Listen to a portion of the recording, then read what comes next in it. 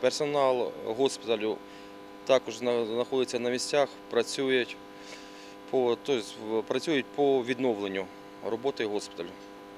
Щодо медичного обладнання, чи Медичне- пошкоджено? Ні, медичне обладнання не пошкоджено, втрат немає, все добре. Допомагають е, підрозділи МЧС, вони працюють на даху по очистці даха.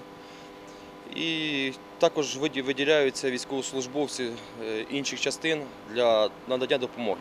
Працювали поліція, працювали МЧС, слідчі. Вони взяли е, проби на експертизу. Коли ця експертиза буде проведена, тоді ми будемо знати, що сталося.